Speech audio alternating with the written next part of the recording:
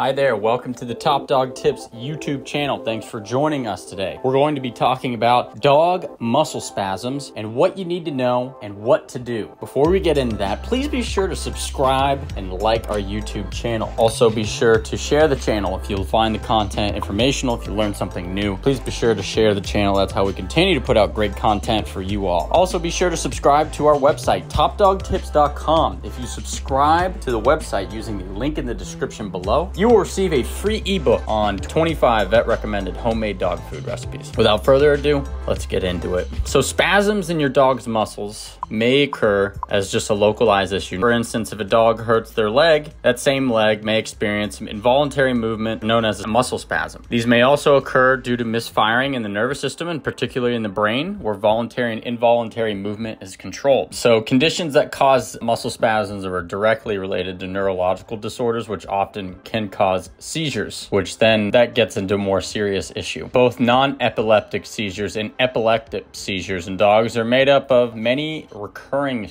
muscle spasms, the root of which is based on electrical activity in the brain. However, muscle spasms can and do occur outside of seizures as well. When they do occur independently, it's typically a symptom of a less severe medical condition or health issue. So let's talk about the causes of why a dog might have a muscle spasm. Number one, REM cycle twitching. This is obviously a harmless one. It's called also known as puppy dreams because research has proven that dogs dream, so they're probably just chasing a squirrel. Or if you suspect this is a light is an adverse cause like seizure, attempt to wake your pet up carefully. If it isn't a seizure, they'll jolt right awake or they'll just continue to sleep. So typically during the REM cycle, your dog's deepest sleep is achieved. During this time, the animal's brain experiences a higher level activity, which could explain the twitching and the little like tiny bark. So the second cause of muscle spasm is an injury. Like we said before, dogs' muscles, bones, veins, nerves, and cartilage, they all are part of a complex system. It's why, for example, muscles with coincide with joint problems, just as worn cartilage can lead to muscle atrophy. So when the dog experiences a damaged joint or muscle, the muscle surrounding it will cramp or stiffen, which can look like a spasm and can typically cause the dog to limp or change change its gait. Additionally, head trauma, which affects the brain's ability to calibrate limb movement, could lead to dog muscle spasms. Third cause could be hypoglycemia. Although a rare side effect, low blood sugar in hypoglycemic dogs may cause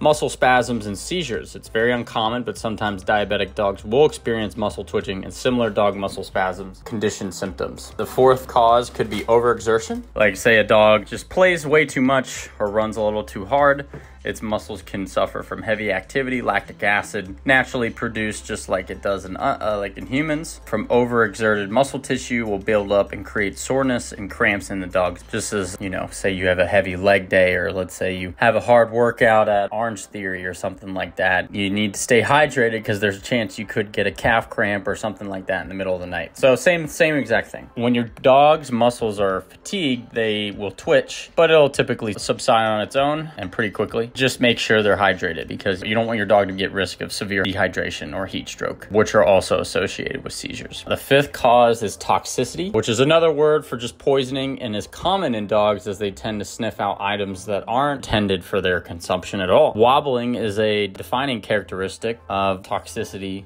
if a dog ingested something that's toxic to it, but could be mistaken by pet owners to be dog muscle spasms. If it's not treated, poisoning in dogs can lead to kidney failure and nervous systems overactivity, which both can cause seizures in dogs. The sixth cause is distemper. This is a well known contagious virus that affects puppies and dogs without up to date vaccines and may result in symptoms like dog muscle spasms. Canine distemper can spread in various ways, making it extremely easy for an unaffected dog to become infected. The dog doesn't have to interact closely with an infected animal to contract the distemper virus either. So, for this reason, dog hotels, rescues, and kennels always require up to date vaccinations of your dog. So, even contact with a dog that is suffering, like dog's bedding, like say a dog is suffering from distemper and your dog comes in contact with its bedding or the food bowl, it can spread to your dog. An infected animal with a viral contagion is dangerous to other dogs, even before they begin to show symptoms. This virus affects the dog's nervous system and respiratory symptoms, among other organs. In particular, the virus's attack on the canine's nervous system is what causes the seizures. It can lead to paralysis, dog, uh, and then spasms, just a transitional period before more serious symptoms appear. The seventh cause could be dystonia. A condition rarely talked about. It may be inherited or developed within dogs, and it's a severe neurological disorder. The most common recognizable symptom is chronic involuntary and sometimes disabling muscle spasms, and a dog with dystonia is likely to experience anxiety and depressive disorders, often due to constant discomfort caused by the muscle twitching and contracting. So, the eighth cause is CSS or canine stress syndrome. It's a neurological disorder that certain breeds are susceptible to, like Labrador retrievers. It's an uncommon yet hereditary condition and may only show symptoms due to psychological stress, sometimes referred to as hypothermia syndrome in dogs. Studies have shown that over-exercising dogs can induce this syndrome and it can be successfully treated if done in time and aggressively. Canine stress syndrome symptoms include anxiety, hyperthermia, and involuntary spasms as well as seizures.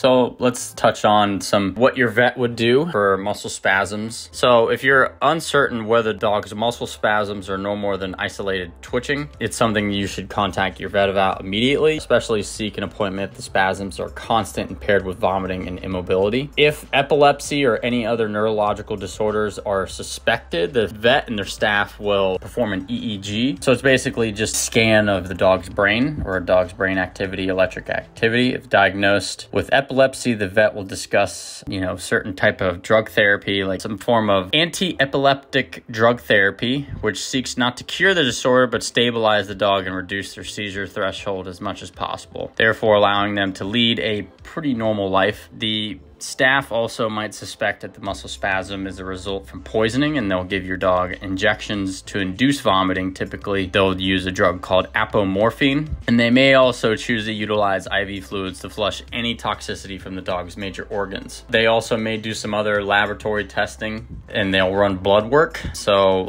you know, analysis of the urine, fecal matter, as well as a spinal fluid. If a limp is present or you share information of a recent fall or injuries, they'll take x-rays and CT scans scans. So if this episode is non-epileptic, they may prescribe an anticonvulsant medication to be taken for a trial period determining your dog's responsiveness to the drug. They'll also likely suggest a change in your dog's diet, replacing kibble full of chemicals and food dyes with an all-natural ingredient-based meal. Also, an elimination diet may be recommended. So let's say you decide to take care of the spasm at home. Let's talk about some ways you could do that. One way you could address a muscle spasm when your dog has it is to gently massage and pet your dog. Gentle pressure to a tight or inflamed muscle will help alleviate tenseness. Less tension, as long as this is not a serious muscle spasm. Less tension means muscle spasms are less likely to occur again. There are several pet massage techniques and types that you can utilize, and we can link to the pet massage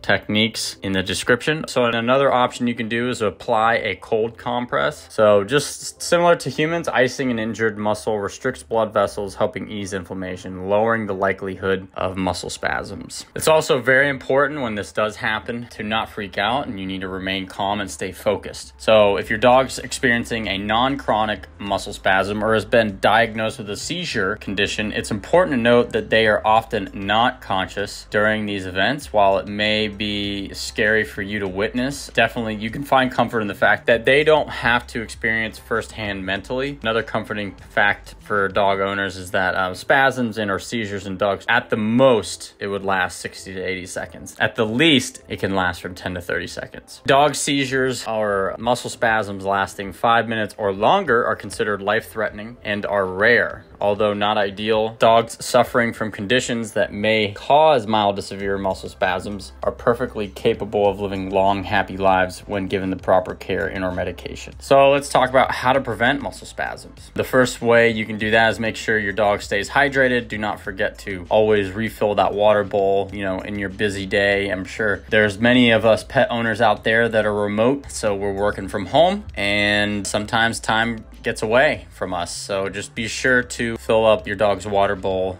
when you're working from home. Another way you can do, uh, prevent muscle spasms is chaperoning playtime with other dogs. So making sure it just doesn't get too intense or just making sure that they don't overexert themselves or do something to where they would get injured. And then also knowing the signs is important. Knowing how an animal acts right before a seizure occurs will help you prepare for future dog muscle spasm attacks. The most common four signs are anxiousness, staggering, disorientation, excessive licking, and or pacing. Well, that's going to do it for us here here at topdogtips.com. Please be sure to like and subscribe to our YouTube channel. Thanks for listening today. Also, if you find our content perspective changing, if you learned something new, please be sure to share the channel. That's how we continue to grow the channel. With that, I hope you have a great day and we'll talk to you soon.